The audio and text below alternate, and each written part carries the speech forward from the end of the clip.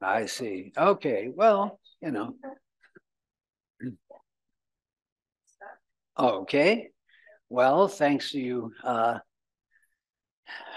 loyal customers.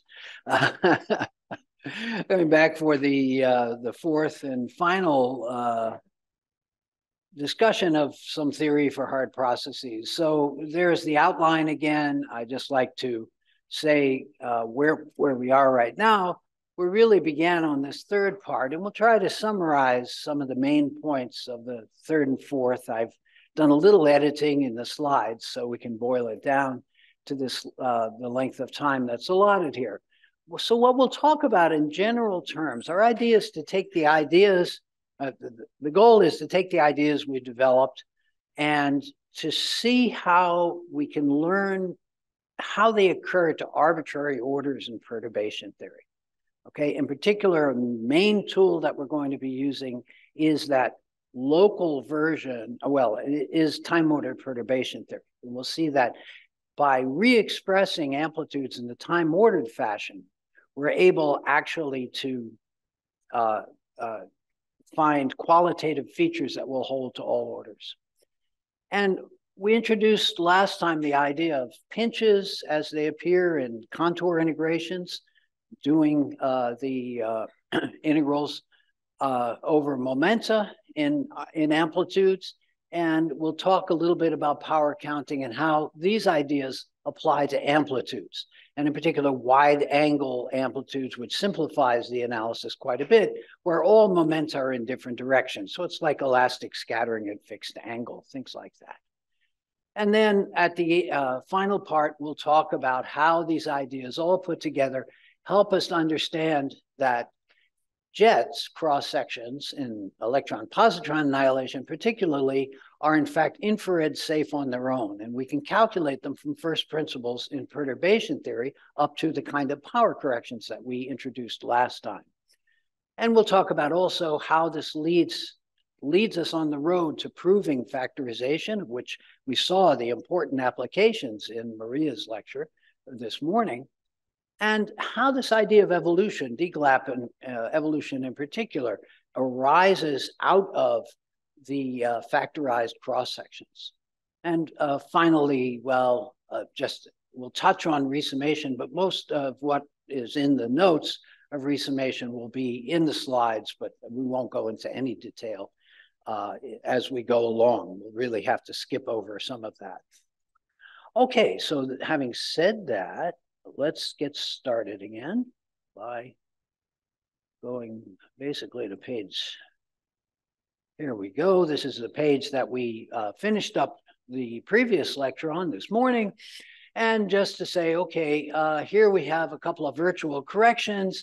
And we see that in dimensional regularization, so this is one of our QCD defined at long distances by a, a going to more than four dimensions, our uh, amplitude here is, is written in terms of these infrared poles and some finite parts and complicated dependence upon epsilon. So uh, our question here should be phrased when we look at a calculation like this, where do the one over epsilons come from, okay? We want to learn how they came about in this diagram, and we want to learn how they come about in general at least for some classes of, of processes. And that's our goal in the next few slides here. and another one of these uh, things. Oh, yes. And now I, I should go to Command L. Ta-da. Okay, good. so here was the infrared pole. Oh, this one we saw, on-shell lines and the pinch of momentum contours. I won't go over this again.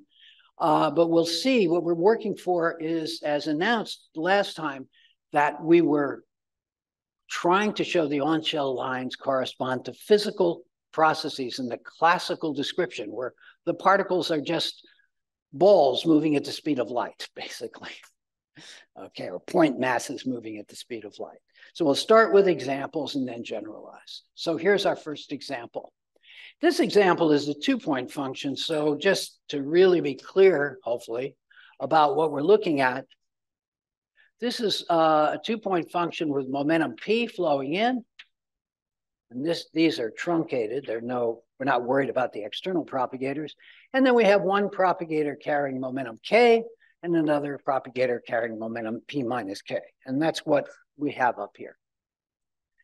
Well, what we can do with any of these Ks and the P minus Ks is simply express uh, the propagators as a product of two, uh, two linear uh, factors uh, minus the uh, values of the energy, uh, which put the line on shell. So we get K naught minus here, absolute value K. Actually, what I've done this second line is set the mass to zero. Okay, so this mass should be set to zero. This, this equality is only true for zero mass. But this, instead of being absolute K, would be the omega that we had before, the on-shell mass. So it's K naught minus K plus I epsilon, K naught plus K minus I epsilon. And then here it's K naught minus P naught minus the absolute value of K minus P plus, and then K minus P with a minus.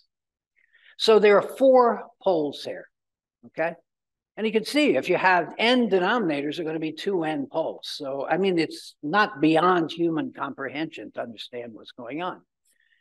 So for generic values of the position of the pole is determined by the absolute value of k. P is fixed, okay? So for a given P, as the as uh, k vector varies, these poles move in, in the complex plane either slightly above or slightly below the uh, real axis. And so we can label them, uh, well, one, two, three, four. I, I, think on the next slide we see what they are. But each of these little uh, poles here, the position of the poles, corresponds to one of these denominators. So I hope that's clear what we're doing. So generally, well, okay, what I should say here, Generally, for generic values of K, the poles are separated. And since this is a defined as a, a, a, contour in the complex plane of obviously this is a meromorphic function, uh, we never need to come near one of the poles. If there's a pole over here, we go above. The pole down here, oh, well, let me go down into the lower half plane to avoid it. Here I go back to the upper and again into the lower. So in general, we don't know much about this. But we know that integral is finite, okay? There's no ultraviolet problem here in integrating over k naught because uh, you have four denominators. So it goes down like k, one over k naught to the fourth. So this integral is simply going to exist as a finite number, which you could get a computer to compute if you didn't want to do the partial fractions necessary. On the other hand, when the vector k goes to some fraction of vector p, where x is a positive fraction, then the pairs of poles one and four and two and three pinch like this. Okay, they come together with the same real value, but a plus or minus i epsilon. Okay, where of course that i epsilon is something that we think is numerically equivalent to zero, but just telling us which half plane. So here the pole at one is at k naught equals xp. That was k itself, but now it's xp minus i epsilon, which is xp naught if uh, if p is on on on the is itself uh, a light-like vector. So here we actually we are choosing p squared equal to zero just to illustrate these points.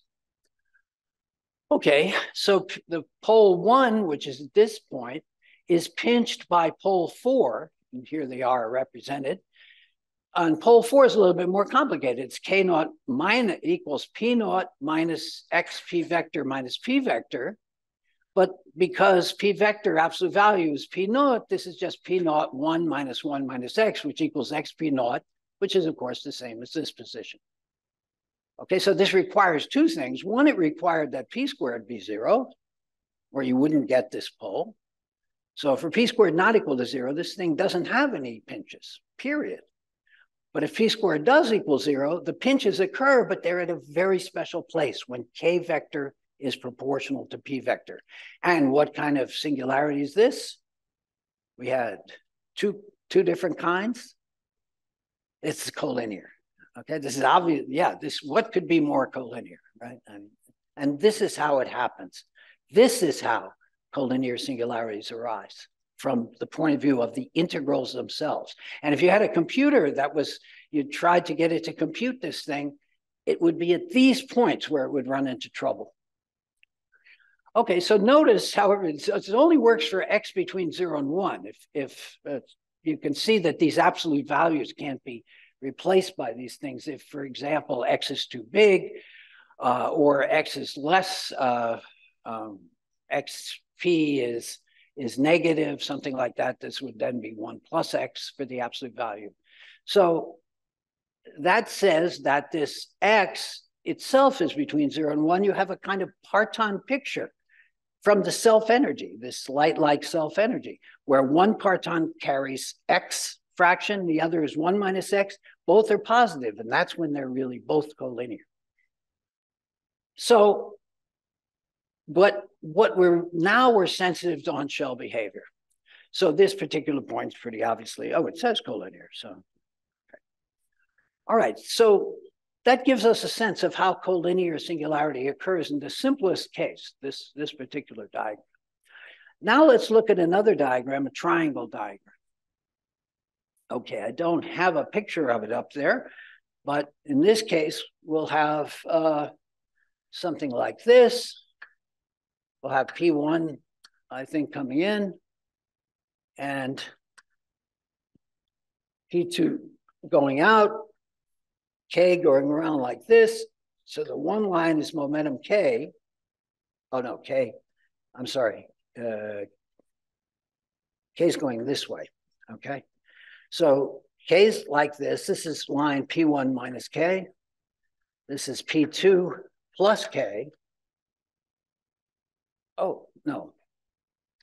Ah, oh, okay. I I take it back. The kinematics is just slightly different. This is the way it's chosen on on the screen.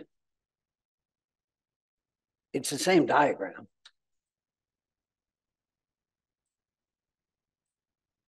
Here we have, let's say, P1 minus K. So K is going like this. This is K going up, and here it's P2 plus K. Okay, so we're just doing this particular diagram here. It's a time-like rather than space-like uh, configuration for if P1 and P2 were both on shell with positive energy. So we say, okay, the way to think about this one, let's, you know, there are numerous ways to think about it, but now what we'll do is we'll apply Feynman parameters because this will lead us to a very general result uh, for the analysis of diagrams, which called Landau equations. And so when you apply Feynman parameterization, I'm hoping everybody is familiar with this identity, which is true for every individual point in momentum space. All you have to do is do the alpha integrals and you get the original form for this diagram. And so now instead of three different denominators, we have one denominator cubed. What an amazingly clever idea. Okay. So this D would be alpha 1 times k squared. That's just, okay. So alpha 2, P1 minus k squared, alpha 3, P2 plus k squared, and plus I epsilon. Notice that plus I epsilon. This, see, when you're combining these propagators, there's an ambiguity in how you do it. You could always say, oh, I'll multiply times minus one and let one of the propagators get a minus one. And so I could make this alpha one k squared minus alpha two p1 minus k squared. But if you did that, the price would be that the I epsilon, instead of coming in with the sum of the alphas, which is one, would come in with a difference, something like alpha one plus alpha three minus alpha two. That would make this essentially almost useless. because the poles here would be skipping all over the place depending upon the alphas. So it's there, our desire to have this I epsilon coming without any alphas multiplying it that enables us to really define what relative sign we use to combine the three denominators. If you multiplied them all times minus one, then you just get minus d cubed times minus one, so it would be the same thing. Okay, but this is actually quite profound and it's hardly ever mentioned. So D now, now, so, okay, so where can we get a pinch? Well, it has to be from some place where D vanishes. But D is just a quadratic form. It's very simple. It's a quadratic equation in K. So to set D equal to zero. But also it has to be that we have to have a pinch. Now the pinch means there has to be a zero of D, which pinches all the contours, okay? Now, the way to think about that for a quadratic form is you require that the two solutions be at the same place. But that means, if you think about it, that the first derivative of d, that d vanishes and that the first derivative of d vanishes. And it has to vanish with respect to every loop that appears in d. Because if you had one or every component of the loop that appears in this case in D, because if one component didn't satisfy this, it would be the component for which the poles were separated. But if the poles are separated for any component, you could always do that component first. And if you did that component first, you would be along a contour which came, didn't come close to any poles. So it would be finite. So we wouldn't have to do any of this stuff. What's that? Why did D need to be vanished? Oh, D, well, we're looking for infinities. Not infinities from infinity, but infinities in the integral. The only way the integral can diverge is if the integrand diverges. And the only way this integrand can diverge is for d to equal zero. See how simple it is? But the beauty of it is this is one loop, but this is going to apply to all loops. Okay, I, as you can see, I love this stuff. All right, so anyway, d buddy k mu of this. Well, we can all do that. It's alpha 1 k plus alpha 2 p1 minus k. Actually, it's actually minus alpha 2 p1 minus k. Anyway, plus alpha 3 p2 plus k equals 0. So we get a linear equation like this in k. And so what we need is for this linear equation to hold to get a pinch because when it holds, if d equals zero, d after all is quadratic. It's just k minus the position of the pole in k times k plus the position of the pole in k. And so when it's only when those positions of the pole uh, reach the same or k minus the first position, the position of the first pole times k minus the position of the second pole. And when those two are together, the first derivative vanishes, and that's the only way you can get a pinch. Okay. So there is actually a physical reinterpretation of this, which we can see by looking uh, carefully at this one loop, and we can also generalize it, which we'll do on the next slide. So the physical reinterpretation says, okay, I'm and not worry about that minus sign. So it's K1, uh, alpha 1 K plus alpha 2 P1 minus K, alpha 3 P2 plus K equals zero. This can be reinterpreted by a velocity times a time for the first component of this equation, the second component, and the third component. So the times are interpreted as the very the value of alpha, which satisfies this equation, given the momenta involved, and uh, a set of velocities, which are the standard kind of velocities for a four momentum. The velocity is just q mu over q naught. So it's one for the zero part of the velocity, and uh, it's q vector over q naught for the other parts of the velocity, the other components, spatial components of the velocity. And if you ask, when can this be uh, satisfied? It could be satisfied for k mu equals zero with alpha 2 equals alpha 3 over alpha 1, alpha 2 over alpha 1 equals alpha 3 over alpha 1 equals 0. This corresponds to the soft. So uh, that's, uh, okay, let me just say that that's, there is a solution at k equals 0. And you could see it because basically you say, oh, let alpha 2 and alpha 3 go to 0, and then we have alpha 1k. But if k equals 0, regardless of what alpha 1 is, it could be 1. In particular, there is the value 1. k equals 0 is already a solution. So it's a pinch. Okay. In fact, whenever a line momentum vanishes, the two poles associated with that line momentum always coincide and pinch the contour. So that's the, the soft pinch is something very special. It comes from a single propagator vanishing, and that's all you need.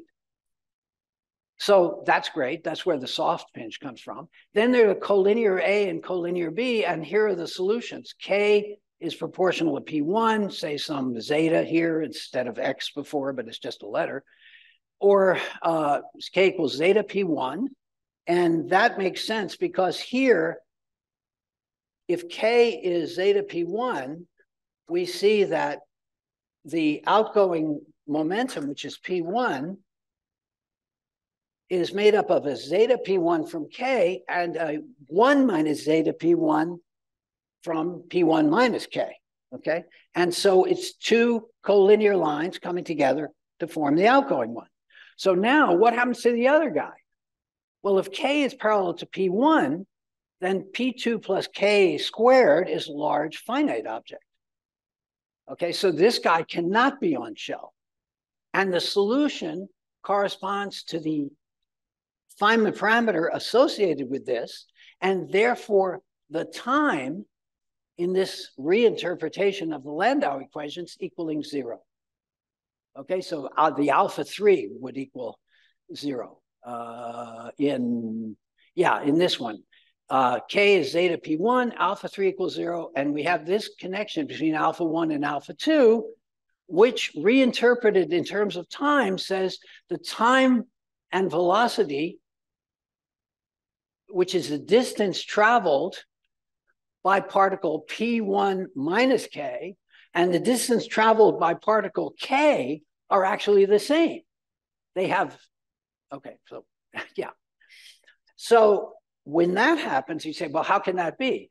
The reason it can be is because alpha 3 is zero. So in other words, this line, P2 plus K, doesn't travel anywhere. It's local. It lives for an infinitesimal amount of time. And our picture, sometimes called a reduced diagram, is this. P1 minus K, K, P2. And this is a essentially point-like interaction at this point. So, yes.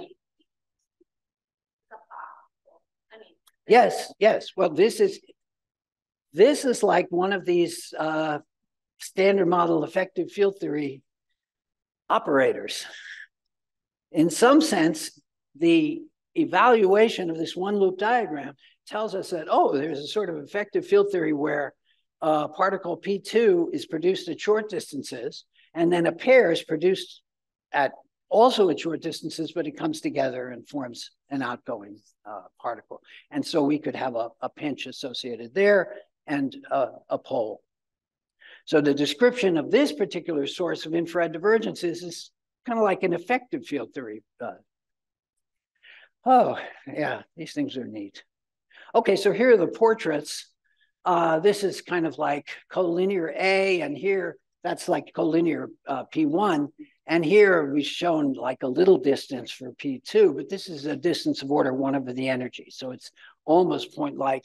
For B, this is the case where K would be uh, negative. In other words, K wants to go this way, instead of that way. And if K is defined as clockwise, this would be negative K coming in. So P2 minus K is less than P2, but proportional to P2. K gives the rest, and out comes P2. And we just flip this diagram over to say what the physical picture is.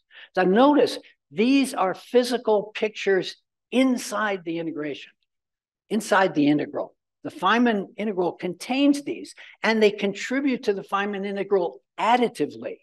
So if we talk about making a list of all the pinch surfaces, soft, collinear A, collinear B, one may be a limit of the other. So in other words, when K is collinear and then K goes to zero, that brings us to the K equals zero pinch surface. And then from the K equals zero pinch surface, we, we can also reach it from the P2 but P, the collinear to P2 and collinear to P1 don't overlap in the K integral. They're different places where we get these, these components. So we have a handle then on where the component, where these contributions are coming from. And that handle can be thought of in terms of this reinterpretation of distances times velocities. But distances times velocities are, I'm sorry, times times velocities, right? times times velocities give distances, right? So these are actually the general Landau equation here is the statement that as you go around the loop, you come back to the same place. It has that interpretation. And that interpretation was realized long ago by uh, Coleman and Norton as being, in fact, very much generalizable from one loop to any loop order.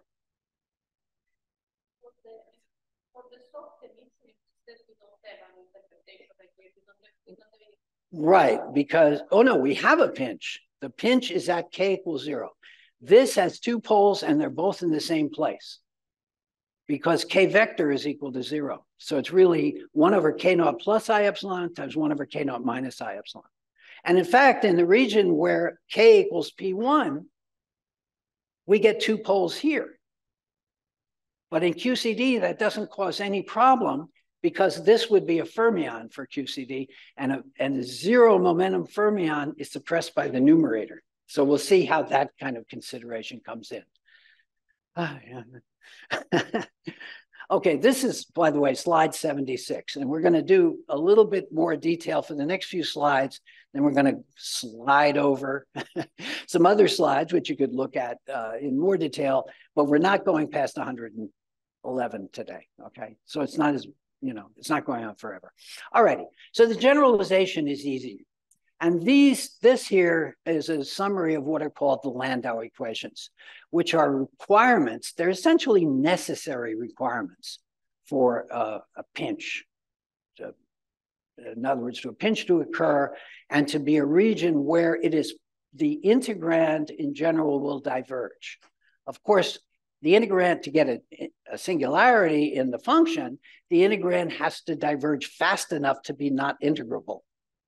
And those are the long distance contributions that we need to get under control.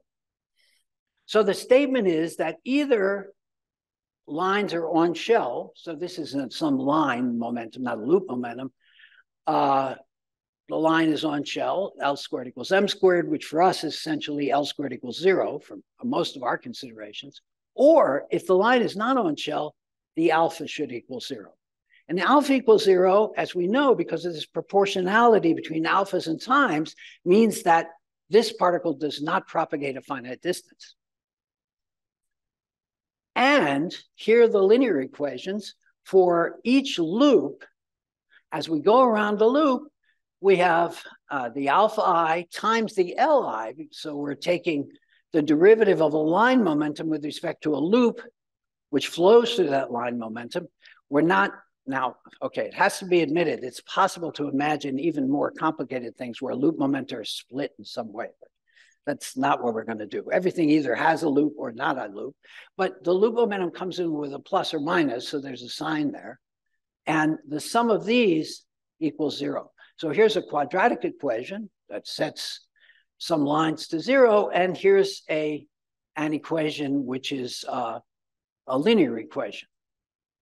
And now using that reinterpretation that we had of the alphas being the time a particle propagates times the energy of that particle multiplied by the velocity.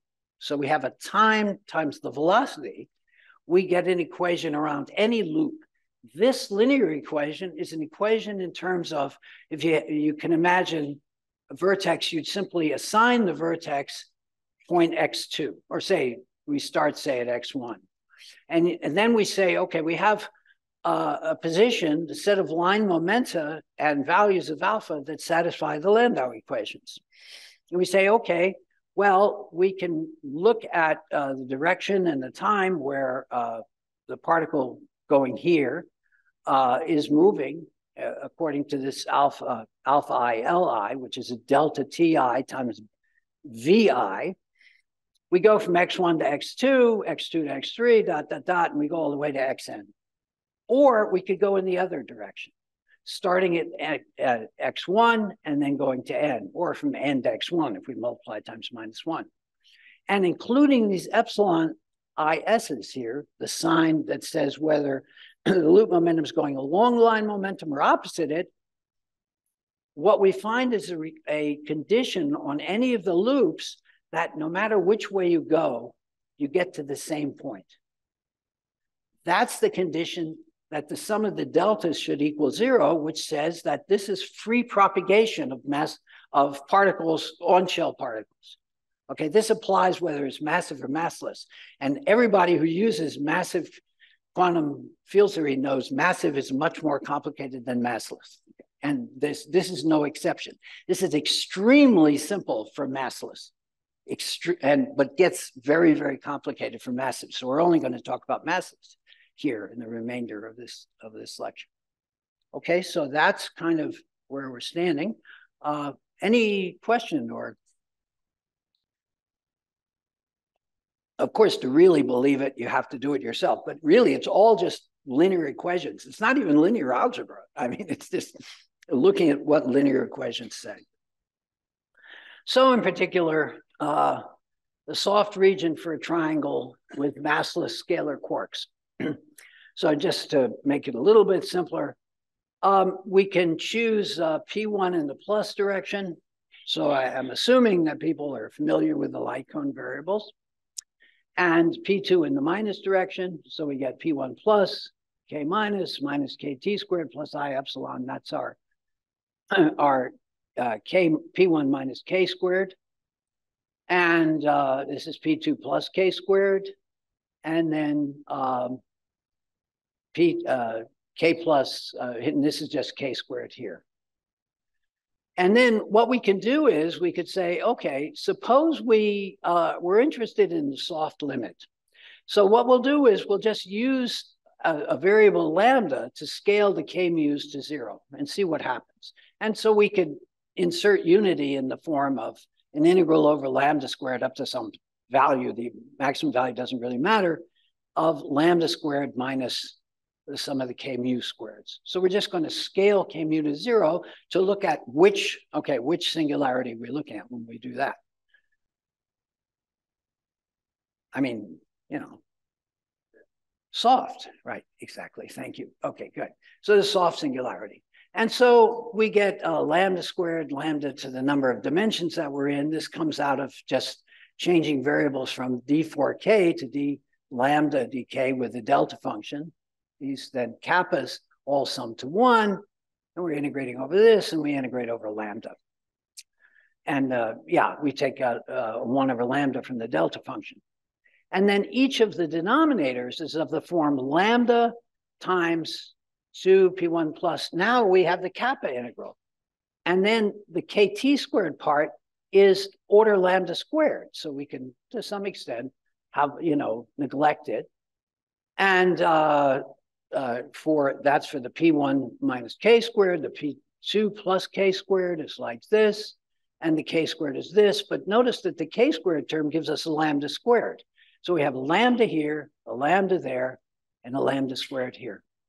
And what we get after all this, uh, we're getting a 1 over lambda. Uh, so we have the integral d lambda over lambda to the 5 minus d, just by factoring out the factors of lambda that we have, we had a, oh yeah, a, a lambda to the minus two from the delta of lambda squared. So we, we see what we get here in terms of the scaling variable, d lambda over lambda to the five minus d.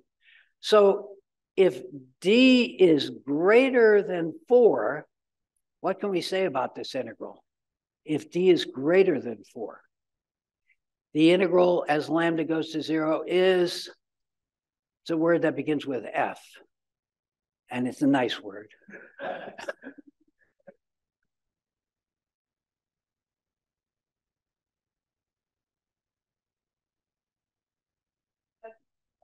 well, here, the lambda integral can be done, okay? So the lambda integral is 1 over 4 minus d.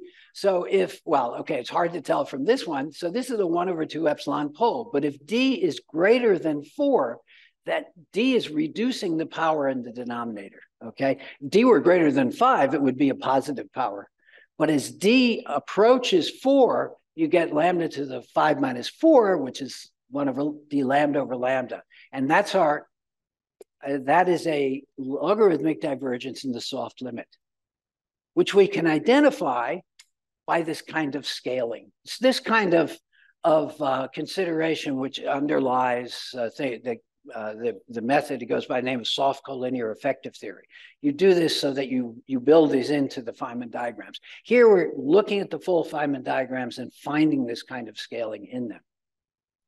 Is there anything here you say, what about that? Or, you know, is it, it is true that, you know, these are uh, formulas that, that require attention and we hardly have time to give each, each one the attention it deserves.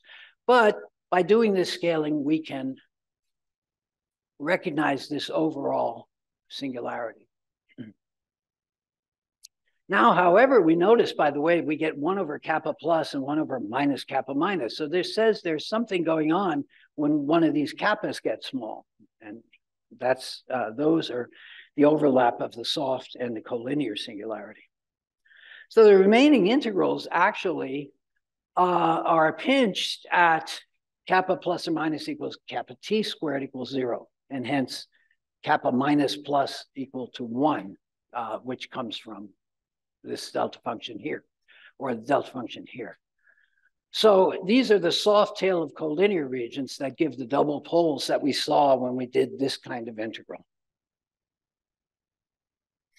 So this kind of consideration where we use scaling to evaluate, to get a sense of, well, if it's singular, how fast does it diverge, can be generalized uh, to an arbitrary integral and an arbitrarily high uh, set of a loop order. And basically, it, it comes to something like this. And I just want to get the idea across the next couple of slides. There are too many equations for us really to discuss in the time we have remaining. But we imagine that there's some space represented kind of here as the space containing some surface. And this surface is a surface where the contours are pinched. Okay, so this is called a pinched surface. It's labeled here S. And in any pinched surface, you can imagine, uh, you say, well, it's a surface. So it has, it has uh, coordinates inside the surface and it has coordinates that are proportional to the surface. When you move inside the surface, you go from one set of, of one point where the denom some set of denominators vanishes to another point. But when you go normal to the surface, you're going away or back toward the actual singularity. And it's the behavior of your integral in terms of these perpendicular variables, what's sometimes called normal variables, well, normal, like the normal to a plane, uh, which uh, gives you a handle on estimating or getting bounds on the kinds of uh, singularities you can have. And we saw that in the last example, the uh, normal to the surface, what in fact, the surface in that case was k equals zero was actually a point. So the normal to the surface, there were four variables surrounding that point in four-dimensional space corresponding to each of the momenta of k. And by scaling all of them, we could see that the integral was in fact logarithmically singular. And we can do this much more generally, okay?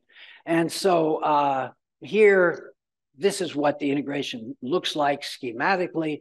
There are a bunch of denominators. They depend upon these L's, which are, are, are uh, so-called intrinsic variables and these kappas perhaps, which are normal variables.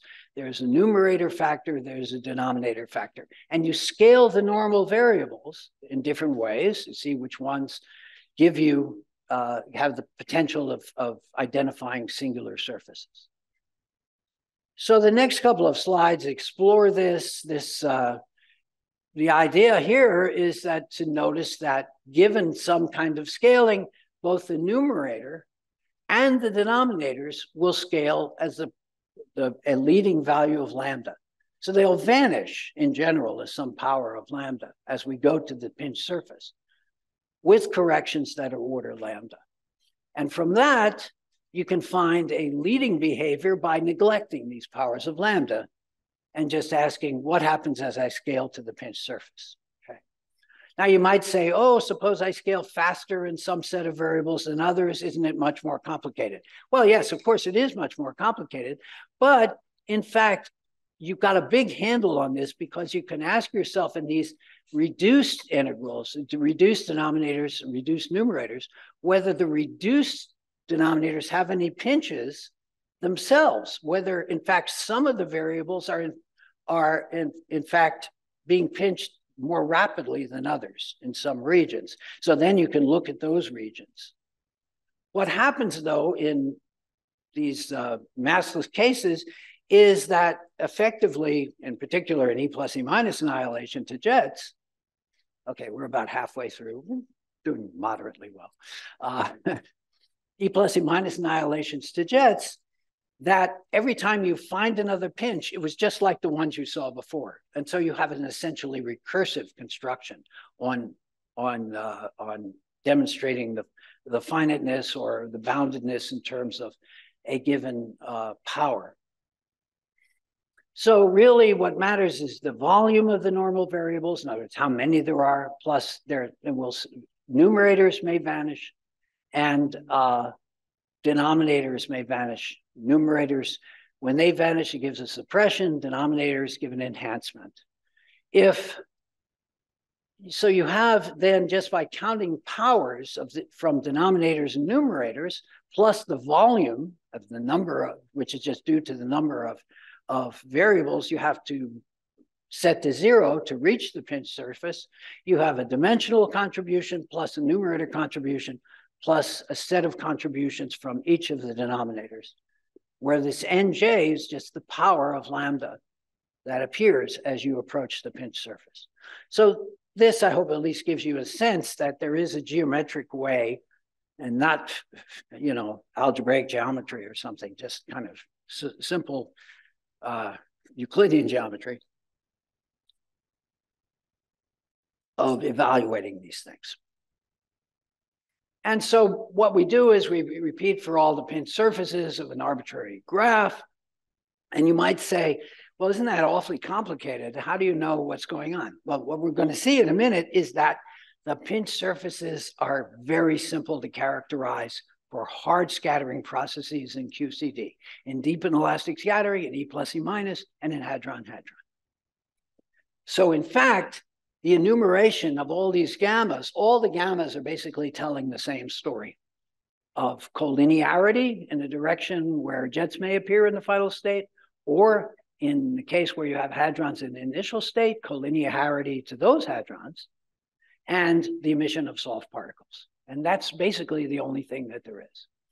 So uh, if the pinch surface is already counted, provides bounds on the, the graphs, and classifies infrared poles in dimensional regularization. Uh, this E plus E minus is simple. We can actually show that appropriate things are finite, which we're going to do in a minute. Hadron, hadron is more complicated. That's why we need, uh, oh, well, in fact, the, the surfaces in hadron, hadron scattering are more complicated. I'm just going to mention Glauber regions. I can tell you in the break what they refer to, but we're not going to deal with them here, but they cancel when we sum over states, so it's okay. In at least in the uh, the kinds of hard scattering cross sections that are being talked about here.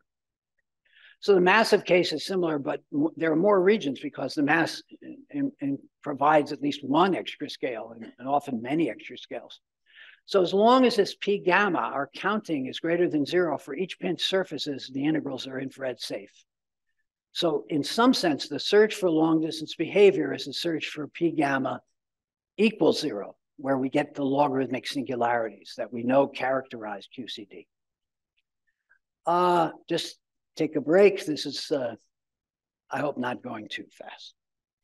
Okay, here, let me just, uh, there's a discussion in the next few slides of wide angle scattering. So we can imagine this is P1, P2, go to P3, P4. We can make these on shell. This could be quark-quark scattering, glue-glue scattering. It could be two to three, two to four, whatever, as long as in this case, we're considering the, the, the situation that all these P's are in separate directions. And the absolute most general pinch surface is one in which each of these incoming and outgoing lines is associated with a set of virtual particles which share its momentum. And all of those virtual particles have to come together at the same place where the momentum is transferred. And that momentum being transferred is essentially a local operator and is exactly the kind of local operator you get in standard model effective field theory, for example. But of course, you can get these local operators by calculable QCD corrections, or at higher orders, not so calculable QCD corrections, but they are point-like from the point of view of long distance behavior. And all of these collinear singularities are dressed by soft gluons, attaching in all possible ways. Okay, so this is the most general pinch surface. And again, okay, why is it the most general pinch surface? Because these two lines are approaching at the speed of light the only way they can transfer momentum is all of them coming together in the same place. Notice it's not sort of a vague statement.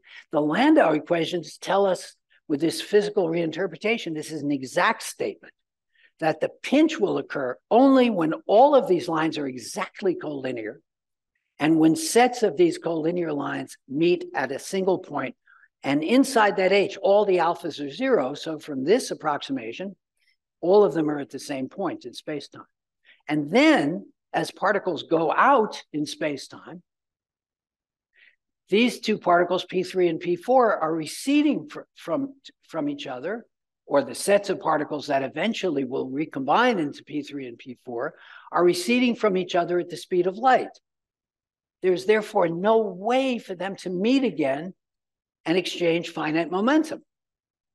These S here can't carry finite momentum because it obviously wouldn't be pinched. There's no, no particle can travel along the light cone from a point here in P3 to a point here in P4 when these points left H at the same time. There just is no way to do it. So absolutely to all orders in perturbation theory, this is the set of pinch surfaces for a gauge theory. And what makes it the gauge theory specifically is the fact that these soft lines when they don't attach to H, in fact, it can give a, uh, a, uh, a leading power contribution. Well, so then, um, yes.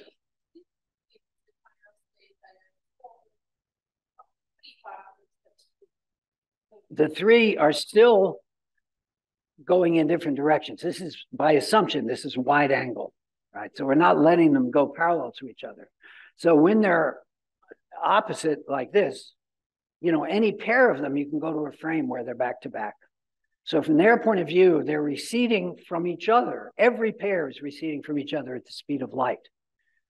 In any uh, set of physical pictures that you can derive from satisfying the Landau equation.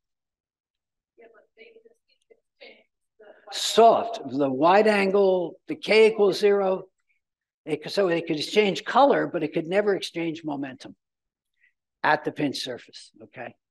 And in other words, you say, well, why can't they exchange momentum? To exchange momentum, they'd have to come together at a point because you'd have to exchange a gluon that's off shell. So what you'd have to do is something like, oh, we go out, let's say in the Y direction, and then we, oh, sorry, we, we, we really wanted to go out in the Z direction. So, okay, let's do this.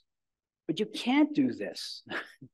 They can't do this because they're going at the speed of light this direction. So there's simply no way to come back. Okay. So uh, the next few slides give examples. This is an example for to the fourth. And you do a little bit of power counting with these normal variables, and you find out that there are no soft singularities in phi to the fourth. So the pinch surfaces are actually much simpler. They're this form without any soft. And then a little bit more power counting tells you that you can't have several lines here. I mean, there are pinch pinches associated with having many partons meeting at the hard scattering. But in fact, when you do the power counting, you find out that they're all finite integrals. That the only divergent integral is in fact from self energies. And the self energies, they'll cancel this extra on shell particle here in the renormalized theory. And so they're logarithmic singularities. So this then takes the form in, in, in form that includes all of the uh, short distance, long distance behavior, that the amplitude can be written as a hard scattering function, which in limit of uh, large uh, Q over M, we can neglect the mass and the hard scattering function times four functions, which are essentially self-energies, which are jet, so-called jet functions, in which all the mass appears. And with a little bit of effort, because uh, the jet functions can be thought of as matrix elements, you can derive a renormalization group equation for this set of, of, uh, of uh, um, uh, exclusive processes. This can be done by an argument that we'll, we'll, we'll talk about when we get to DGLAP evolution in a minute. And so let me just uh, mention this uh, in passing. But I hope I've, I've, given you some idea of the motivation. So now elastic scattering gauge theories, this is several uh, slides here, but I don't want to dwell on them. Here we take into account the idea that we could have these zero momentum gluons because we have essentially because they're three point couplings and phi fourths, you just lack that. And so that improves the power counting. And uh, the power counting is described here. It's a little bit complicated. Unfortunately, we won't be able to uh, to go into the details, but if you want to have a look at it, um, you can do so. And of course, send me an email or something if there's something that doesn't seem clear or seems ill-defined. And um, it could be there's a typo, or it could be I can direct you to uh, some particular place where it's explained in more detail. Um, the thing that is worth pointing out here is what happens with these multiple lines. In to the fourth, the multiple lines were replaced by a single line. In the gauge theories, that's the case if you use what's called a physical gauge. But in the gauges we like to compute in, like Feynman gauge, there are extra lines here. But these extra lines all correspond to the picture shown at the bottom, where we have the extra lines are all scalar polarized lines, which uh, we talked about, well, some of us talked about at the end of the last. And these scalar polarized lines are unphysical polarizations, and they uh, decouple from the cross section, but in factorized uh, functions, they're present that to make them gauge invariant. Uh, the proof of factorization is summarized in this, this picture, which is from an old paper uh, we won't have much time to talk about it, except I just want to emphasize that the effect of all of these scalar polarized connections is given by so-called gauge link or Wilson line, which is described in this slide. It's a path-ordered exponential of the gauge field dotted into some fixed vector. And so it describes the so-called eikonal connections. Each of these denominators is a 1 over n dot k, and each vertex is an n mu.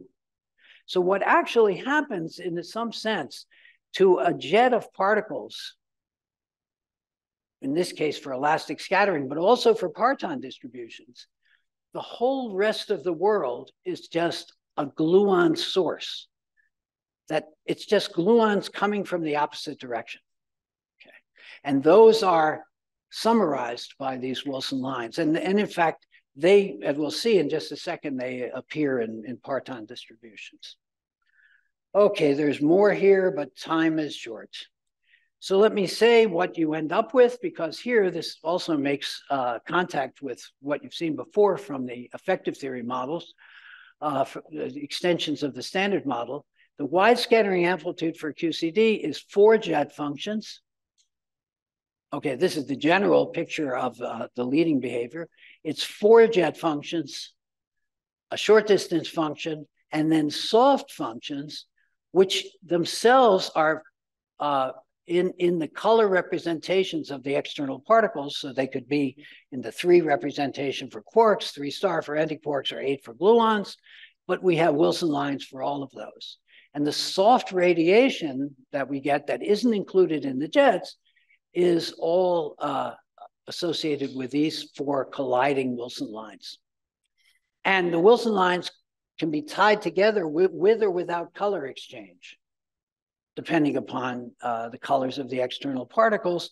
And that, in fact, is exactly what we saw yesterday in the uh, in in the standard model effective field theory. When you have these possibilities, the, the structure is already in the infrared structure of QCD because it's just that general. This is all you can have. Uh, yes.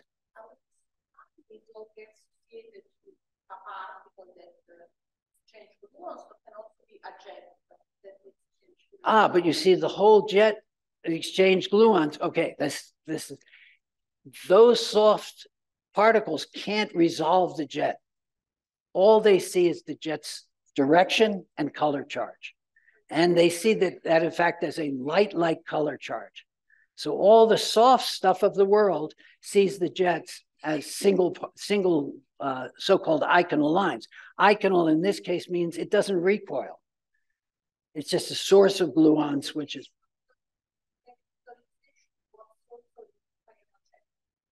Yes, it does. In this case, this is not just any old jet. I mean, and you have, I say it, it doesn't work this simply for every quantity, but for this elastic scattering in this infrared completed dimensionally regularized QCD, this works exactly. Alrighty. Uh, so the next few slides say what uh, some of the consequences of this for uh, elastic scattering amplitudes. We really won't have time to follow these. Uh, this is just a picture that we had before of jet functions, uh, product of jet functions two to two. Here's our soft function, here's our hard function. Um, all of these dimension uh, have to be, yes, dimensionally regularized. No, the collinear divergences are where you have the hard get soft here. Yes. Uh, so here, all they're here. Yeah. Jet function is also there. It's a collinear divergence. Absolutely. And the C is also very collinear divergence. Uh, this. Oh no, C here is just a point-like coupling of the, it's the color exchange at short distances. So in fact, this H knows which colors are coming in and out and they match this. Okay.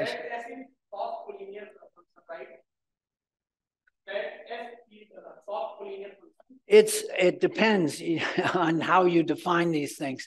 The way that I like to define them is they have the collinear subtracted out and absorbed into the definition of the jet functions but you can do it differently. In soft collinear effective theory, it's done differently.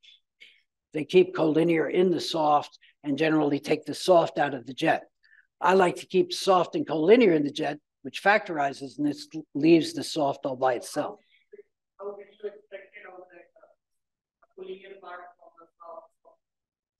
Well, you have to look at Yao Ma's paper in 2020 for the complete 90 page details. But for each region, region by region, meaning where certain lines are collinear and others are soft, you can see that this structure holds very early on. Also it was done, and what Yao Ma did was doing it in uh, Feynman gauge. It was done in axial gauge in considerable detail by Ashok Sen of string theory fame back in a long time ago. okay. So uh, the next few slides just follow these ideas and say what forms they give to you for the jet functions. Notice that the jet functions are integrals which give rise to these one over epsilon poles. And so it's all explicit. The collinear singularities for a gluon in one direction and for a quark in another direction and for an antiquark in a third direction, all completely factorized and separate. And this, these have been, I mean, in addition to the general arguments, uh, they have been uh, verified to, you know, pretty sophisticated and high order uh, calculations. Okay, this is what the soft functions.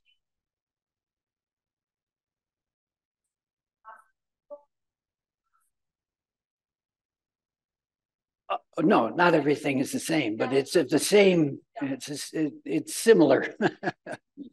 In fact, what, what, okay, let me not try to, this is for the amplitudes, okay? Everything here is for the amplitudes. And the idea I'm trying to get across is we have ways of looking at the amplitudes at all orders. We know where the, the singularities or the poles come from, the infrared poles come from, and knowing that, we're actually able to get very explicit formulas for these poles as in, in, in a form where they exponentiate. Hmm. I'm afraid I'm going to have to take a little bit sip of water here.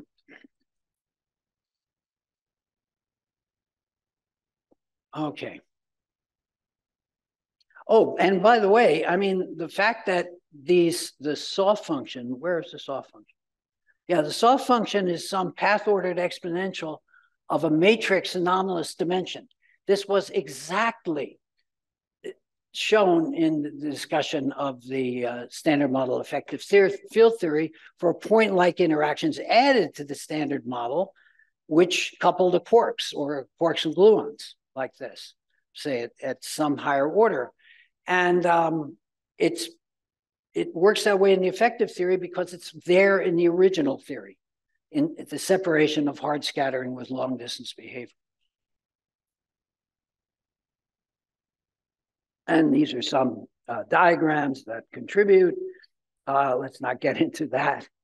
Okay, so we have about 25 minutes, roughly speaking, to uh, talk about how these general viewpoints lead to general results. And now I like to put everything together, okay, in the last five minutes. Okay, luckily it's more than that. So we're going to, uh, I think, slide 110. So we're, we're kind of pretty close. All right. So here we go. Infrared logarithms arise from coalescing mass shell, that is k squared equals zero, poles in loop integrals. That's all we've been discussing over the past hour or so. So this is Landau equations with the so-called Coleman-Norton analysis in terms of these physical pictures. Uh, and then this is this is where I learned it. okay. So what we want is not these. I mean, you can get all this wonderful stuff about amplitudes, the infrared poles of amplitudes from this analysis, but it's not the real world, right? It's it's you know, it's it's a quantum field theory problem of extreme interest, but it's not QCD in the real world. We're looking for infrared safe stuff. So how can we use this to identify it? So the basic finding is long distance behavior goes like classical propagation in massless field theory. So it's actually another thing is the analog of the correspondence principle where classical and quantum pictures overlap. Jet substructure, as we've said, is a long distance dominated because massless particles can propagate elastic classically between interactions, like when they split, when they recombine, scatter among uh, particle, uh, uh, collinear moving particles. Such configurations are very restrictive at high energies. As we saw for the elastic scattering, it's just like boring jets going out in every direction. It's all you have. And then some soft stuff in the middle. And they reduce, in fact, to parton model-like pictures. Because if you think about it, those pictures that we saw for two to two scattering were just like the partons. It's like the partons came in, they scattered, they went out. There were unphysically polarized gluons. Well, you don't have those in the parton model. And then it becomes like the phi to the fourth picture, where it's just two coming in, two going out at short distances. The rest was renormalization of the of the two point of the self energy. so here it is. This is everything, everything at all possible accelerators. okay, the classical kinematics is embedded in amplitudes and these are the underlying singular regions. This is where all logs come from for wide angle, for hard scattering. Okay, lepton, anti-lepton, there's E plus, E minus, annihilates to a vector, and then some jets come out. Okay, and these double lines, the black lines, represent jet subdiagrams. For the moment, we're setting aside the soft, all right? Lepton hadron, here's our electrons, here's our photon, here's a incoming hadron. It has a number of partons. One of them scatters, produces several jets moving in various directions, and the other guys go forward. Once these guys go forward, they also can't exchange finite momentum with the outgoing jets. Everything has to happen in short distances. So it all comes down to here. And at the pinch surface, to get the logarithmic behavior, these guys simply can't take part in this hard scattering. If they did, they would have been very, very close, and that would give it, given another suppression because we would be restricting them to a tiny region of phase space. Hadron, hadron, again, the picture in terms of finite momentum particles is, is exactly the same thing. These two collide, everybody else goes forward. It's possible we could have another hard scattering, but again, that would be suppressed because any hard scattering is unlikely. And when we get the hard scattering, we get a set of jets going out. And these are all the physical pictures there are at leading power. Okay. In each case, the interactions between outgoing jets involves no local momentum transfers. The logarithms we organize in evolution or resummation result from integrals up to these momentum configurations. These are momentum configurations exact. This is where the pinch surfaces are. The physical pictures associated with those pinch surfaces are very simple. Of course, each of these black lines, we have a bunch of collinear gluons and quarks, you know, it gets complicated, but they're all going in the same direction and sharing the same total jet momentum. Now here, the jet momentum may appear as many particles in the final state because we're thinking about inclusive cross sections.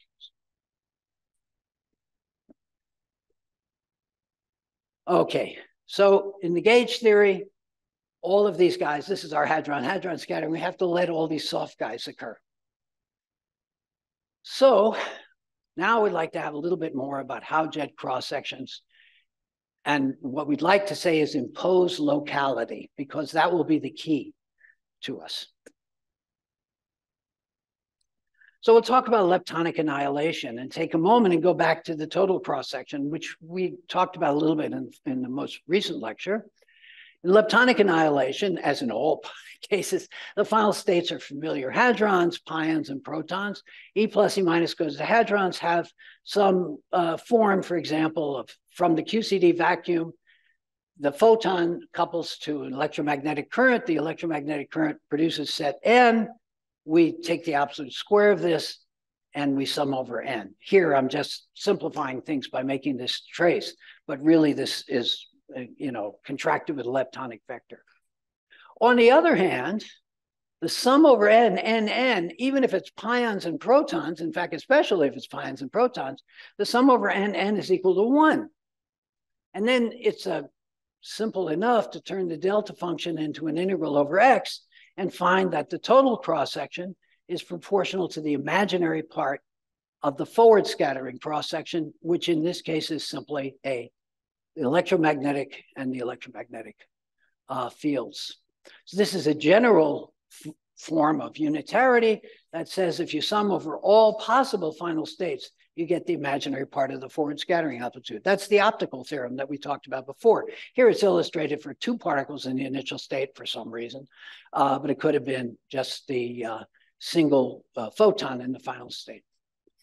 So on the right-hand side, there's no classical pictures connecting the place where this uh, electromagnetic field absorbed the particles and here where they emerged from. So because there are no classical pictures in the self-energy, in other words, the self-energy is something like, okay, here's where J appears and some particles start moving away from J. And you say, well, if we're going to get singularities, they have to be light-like. But if they're light-like, and there are, say, only two of them, they're moving back to back, receding from each other at the speed of light. The game is over. There's no way for them to come back, interact again to produce the outgoing photon. There's just no classical picture. Therefore, there are no pinches. No pinches, no long distance behavior, and our quantity is three words. the First one beginning with I. No class, no classical processes, no classical pictures. So we can do the integral without having any pinches. So we would say the integral for this quantity, the forward scattering amplitude, whose imaginary part we're going to take, this integral is, thank you, infrared safe, okay? So it all, that's it, all orders. All right. Okay, that's just for the total cross section. But in fact, that's how you show that the total cross section is infrared safe in E plus E minus annihilation. Now we can go on. What about jet cross sections? Okay. So it depends on how we define them, which we're not going to get too much into the detail, but we want to define them in a way that we know it's a jet and the jet that the jet's got a bunch of particles moving with a lot of energy in a certain direction. So we say, oh, if we're really interested in just the energy flow, we can respect the energy flow. But if we can respect the energy flow, we're summing over all these different states with different collinear rearrangements, and they all get the same weight. So we're just adding them together. So we get the feeling that, yeah, maybe this thing is finite. And the beauty of it is, so here it's more complicated. So we'll say, uh, say E plus E minus goes to jets. We sum over all the states as we did before. Same matrix elements, zero, JEM, N, N, JEM, zero. But now we have a sort of theta function that says N is an element of the set of jet states, however we define those. But we want to define them in a way that satisfies the flow of energy. So each, and here's where the beautiful part of the, the whole point of this time ordered perturbation theory comes in finally. Each of these jet related states has its own unitarity, okay? So if here's the general thing, and this is, by the way, reverse unitarity over and over. You start out with this. Remember, this is what uh, uh, Lance wrote on the board yesterday. And now you say, okay, suppose I had a cross section. So it had an amplitude where I had all EIs minus SIs plus I epsilon. I have a complex conjugate, EJ minus SJ minus I epsilon. And I have energy conservation for the final state. I just take every one, and what I do is I'm summing over all the final states in a sequence of time ordered states. Okay, so it's completely arbitrary. I apply this, and what I find is if I have n, so this m equal one to n, so this is uh, nth order in some interaction, arbitrary nth order, I take each delta function, replace it by this, I get two n terms where I had before n terms. But every pair of terms cancels except for the first term and the last term. And I get a product i j equal 1 to n of all terms with plus i epsilon that comes in with a minus sign and then another one j equal 1 to n with all minus i epsilon to multiply by minus i that's what gives you the, the imaginary part now, in these integrals, the pinches disappear. There were lots and lots of pinches depending upon how we identified, you know, what final states we were ready to identify as jet-like states. And there are plus I epsilons here, minus I epsilons there. The pinches, it's complicated. But just as in the case of the Higgs production calculation, you use this trick, except it turns out this trick works at all orders.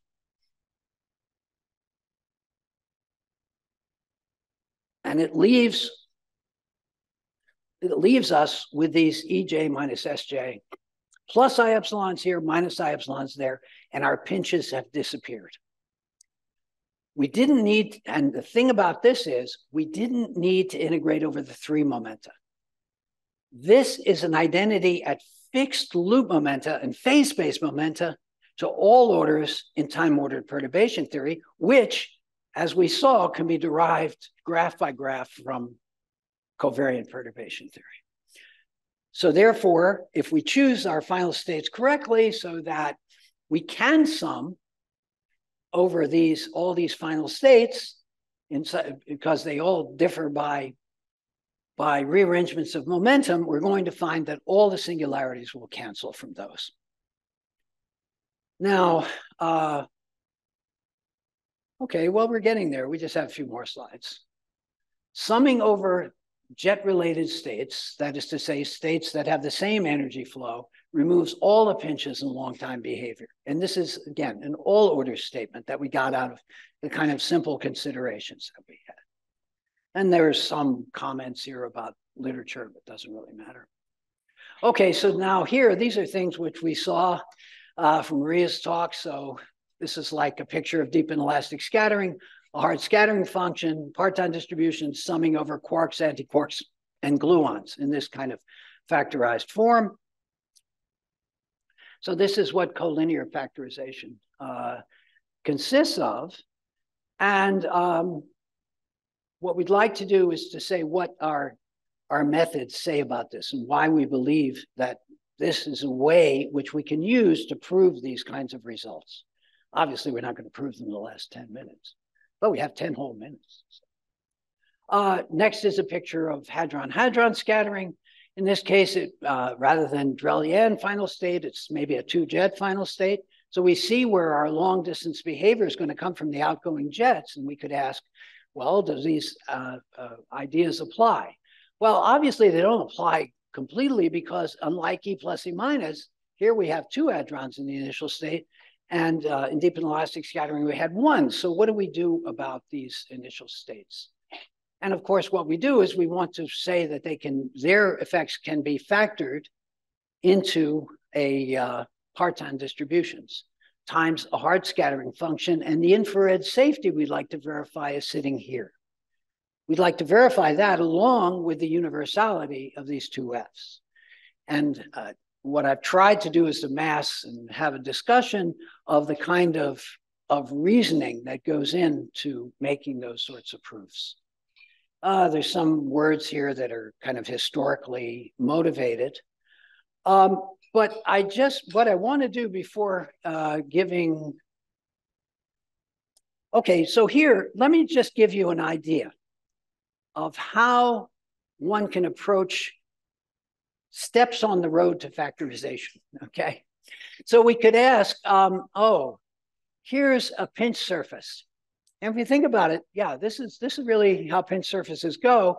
You're coming in from the past in this direction and this direction. This from an old paper, but I hope the picture is clear enough. It's a picture of the pinch surface. Here we have particle P1. It has a jet here. This is what we'd like to be the parton distribution.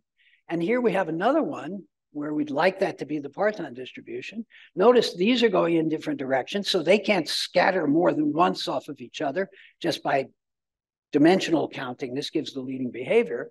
So, and then there's a final state that might be a little bit complicated. It could have two jets, could have three jets, could be a Higgs or, or whatever. But now it could be a Higgs plus jet. There are also these soft lines, and the soft lines are what make it complicated in this case. So we could say the soft lines could connect to these jet subdiagrams, and they could also connect to the hard part. But the hard part is here, outgoing jets. So we can't say that in any given final state C, this thing has uh, reduced to a short distance phenomenon. We haven't canceled anything. This is on the left, the absolute positive, most general leading pinch surface we'll ever find. Okay. So now we say, oh, all right. Okay, but we had a diagram and we know we can apply, we can say, in principle, I could make this into a time order diagram. And I know that, in fact, if I sum over all the cuts of this diagram, then in fact, I would have the imaginary part of the diagram. All right. So this, however, is only some of the cuts of the diagram. It's not all of them. So what we get is, in this equation, we say the sum over cuts, say that involves the Higgs, say Higgs plus jet, is equal to the imaginary part of the diagram minus cuts that appear here, C prime, which use the soft guys to make a cut. So some of the soft guys could have appeared here, and uh, but we didn't have the Higgs produced. So the Higgs is all the virtual correction. And here, the Higgs is all the virtual correction if these are C double prime cuts that are before the hard scattering occurs, right? So the cuts could be before the hard scattering, after the hard scattering, but before the hard scattering ends, or after the second hard scattering on all the way to the right in this in what is essentially the imaginary part of this forward scattering amplitude. But now, here you have interactions of soft particles with the outgoing jets. But you look on the right-hand side and you say, oh, gee, um, let's look at this in a little bit more detail. In each of these, the hard scattering appears at one point and comes back to another point where the, the forward scattering reforms itself but there are no pinches anymore. all the pinches associated with the final state have disappear in these cuts because any loop you have around here that carries finite momentum isn't pinched because there's no, how do we know? Because there's no physical process here, just as there wasn't in the total cross section, in which particles emerged from some point and came back to the same point. They can't do it. Therefore, in fact, the sum of all of these things reduces to these kinds of, of situations where the hard part is shrunk to a point, and now a soft particle would like to couple to that point. And yes, it can couple to that point. When you do the integral, you'll encounter those points, but they will not be singular enough because you're demanding that a very long wavelength line sit at a given point, so it's geometrically suppressed. Or you do the power counting, it'll be suppressed by a power. Therefore, once we sum over all the C's, we can, if the soft part cannot interact with the outgoing jets. And from the outgoing jets point of view, it's all just like E plus E minus annihilation. Therefore, jet cross sections at the hadron-hadron collider can be factorized. However, it is true that what will remain is the possibility of having soft interactions from this analysis between this jet and that jet, which also have to be eliminated to prove the full factorization in universality. And just to show you, uh, oh, this, this, by the way, is what parton distributions look like. I don't know, it's possible Marie will show something like this uh, in all right, we'll wrap it up very quickly. Uh, as, as expectation values of operators of this form. Um, so I, yeah, I mean, so what I wanted to emphasize here was that when you go through this exercise, you find parton distributions which can be expressed as matrix elements of QCD, which enables you to go to computers in principle and calculate them if you could, but in any case gives you well-defined ways to define them on the basis of experiment in self-consistent manner. Anyway, the way it goes is after, so this is sort of the steps to factorization here. And this is actually the last slide. Um, this is where we start out. These are the cross sections we wanted. And here we can imagine, this is uh, Drell-Yan, here, but there could have been, these could have been, this could have been a gluon, these could be two jets. We just argued in complete generality that at all soft interactions coupled to the outgoing jets, either between them and the incoming particles or between the outgoing jets each other, will cancel as we sum over all final states in a jet cross section that satisfies the respects the, the flow of momentum. So the first step from here to here, you notice the difference is that there aren't lines from the soft blob here to the outgoing jets. So now we're faced with the problem of what happens about soft lines uh, attaching to attaching the two uh, would-be parton distributions like this, and the possibility, of course, we want to understand what happens with these. So these scalar polarized lines, which are also uh, consistent with leading power behavior. And the third step here just simply factorizes the scalar polarized lines from the hard part using the ward identities of QCD. The difficult part is this last part, where we show the cancellation of soft connections attaching jet A and jet B to get to the point where we have jet A and jet B in a form that we could actually identify with the matrix elements that I showed on the previous slide. This last part is the most difficult part. Obviously, I can't um, go through all of the, the details here in like two minutes. I should say that the main uh, problem is that uh, region that I described before is the Glauber region. It's a place where if you do the power counting, you find that the integral, after you look at the leading behavior as k goes to zero, the integral has extra pieces, uh, extra pinches, where certain components of k are actually going to zero faster than others. What it does actually is it's, it's a region where the soft gluon resolves this jet. Now, the way it works itself out is the fact that, again, you sum over final states, different final states where the soft gluon can see the, uh, the different components of the jet, and you find that there's enough cancellation by summing over final states that these soft singularities all factor and cancel among themselves. So I'll just leave it by that as a kind of summary of how we do it. So, uh, yeah, these are the basic results underlying hard scattering analysis. Uh, some comments uh, on uh, some of the practical applications follow. There's some talking about jet. You know, some of you will have seen it, parts of it, or all of it. Some of you may know more than I do about jet algorithms, about uh, what energy flow looks like at CMS and Atlas and things like that. Uh, there's about, you know, perhaps 20 more slides, but we're certainly not going to uh, impose them on anybody. Uh, so in, in, including a sketch of how uh, factorization properties are uh, connected to resummation, I will finish by going back, however. And this one, uh, one transparency that I added after having hearing Maria's um, talk, we saw a beautiful derivation of the nitty gritty of how uh, the DGLAP evolution is identified and how the splitting functions are calculated. Here it is in the language that we've developed over, over this period. Deep inelastic cross-section at some Q. So this is E on a hadron H.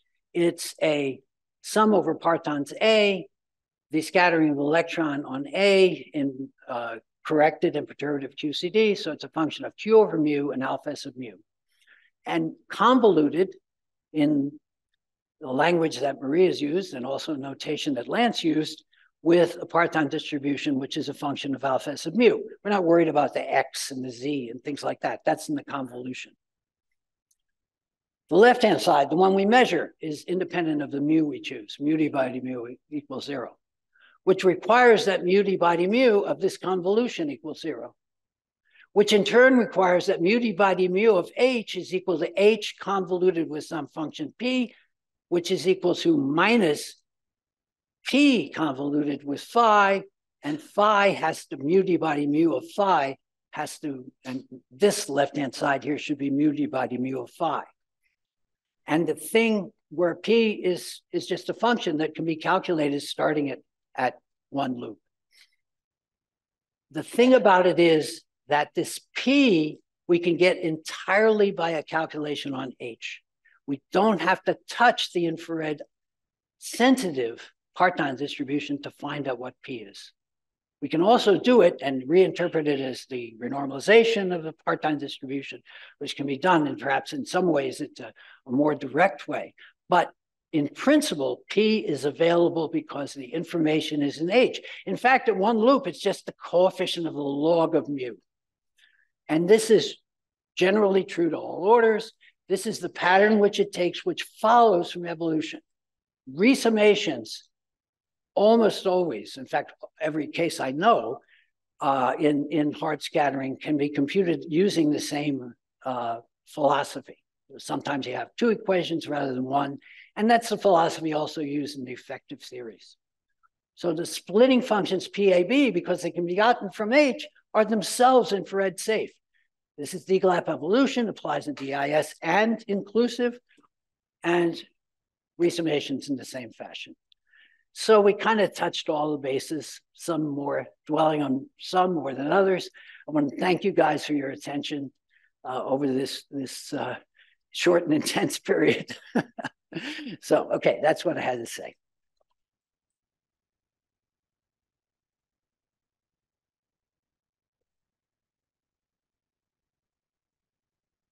All right.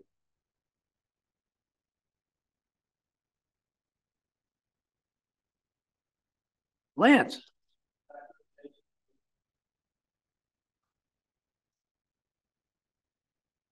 That no, no, the Glauber story is exactly the same. The point is getting to the Glauber story. The Glauber, okay, it's all in there. This eliminates soft interactions with outgoing particles at wide angles, whether they're the muons in Drell-Yan or they're jets. And so once you've eliminated those, you've reduced it to this situation here in the box two. This H could be anything that would be infrared safe if it were produced in E plus E minus annihilation or, you know, something like it because we, okay, so that, so that step, the factorization, the, the fact that jet cross sections for most purposes, if they're inclusive enough, and okay, it's a, a little bit uh, vague in, in that way of expressing it, they act from that point of view the same as Drell-Yan. It seems to be something that kind of fell by the wayside over the years. I, th- I think there isn't as much awareness of that as perhaps there should be.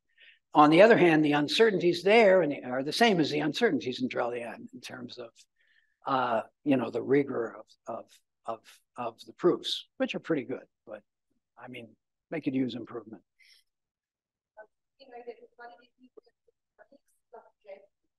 What's that?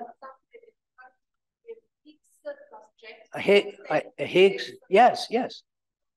It well, you see, we didn't have to say what was in the blob. It followed from unitarity. That that's the thing. It was the unitarity which is built into it's built into the theory. So what do we need for unitarity? We need a Hermitian Hamiltonian. Nobody says that Hamiltonian has to even be rotationally invariant.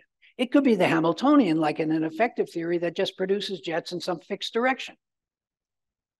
The long, those, that theory, which only produces particles, say in some jet directions, be it soft collinear and other theory, has a Hermitian Hamiltonian. When you sum over all its final states, the total probability has to, whoops, excuse me, equal one. And that's where the cancellation of infrared divergences comes in. But the only way to do that is to sum over all the states for a given Hermitian Hamiltonian. And Hermitian Hamiltonian for jets would be like a soft collinear Hermitian Hamiltonian or interaction Lagrangian. Okay, it's that, it's the it's the hermiticity that matters. But the hermiticity means that if you do one to two, you better do two to one because that's phi star going to phi for each of the fields. So you have to have, as well as collinear splitting, collinear absorption or, or recombination. So it's extremely general.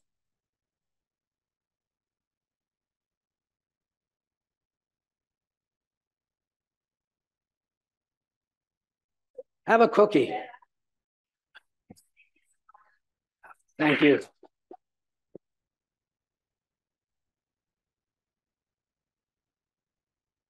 And really, I want to say you guys have been great. you put up with a lot of talk here. I mean, for me, the rest of us.